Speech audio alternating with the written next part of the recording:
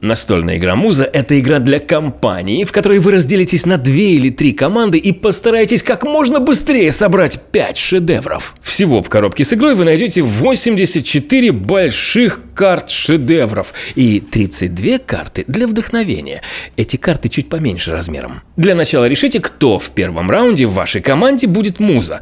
Все остальные становятся художниками. Ваши соперники из команды, сидящей слева, берут 6 карт шедевров и 2 карты вдохновения. Они тайно выбирают одну карту шедевра и одну карту вдохновения и передают их музе из вашей команды. Ваша муза смотрит, какой шедевр должна угадать ваша команда, а карта вдохновения подскажет, как именно вы должны намекнуть команде. Передать увиденный шедевр нужно при помощи простых ассоциаций. Предмета одежды, реального животного или даже приняв любую позу. Никогда не знаешь, какую именно головоломку подкинут ваши соперники. Когда вы, как муза, будете готовы вдохновить художников, вы говорите вслух подсказку команде, ссылаясь на карту вдохновения, а затем, не произнося больше ни слова, отдаете карту шедевра команде соперников. Они замешают ее с остальными пятью картами шедевров, взятыми ранее, и разложат на столе рубашкой вниз. Теперь художники из вашей команды должны угадать именно ту карту шедевра, о которой с таким вдохновением чуть ранее вам подсказывала муза.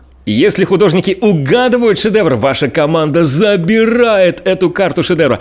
А если нет, то отдает шедевр команде ваших соперников, сидящих слева. Затем все использованные карты в этом раунде сбрасываются, и ход передается следующей команде по часовой стрелке. Игра закончится в тот момент, когда одна из команд соберет 5 карт шедевров. Поздравляйте победителя и сыграйте еще раз в настольную игру «Муза».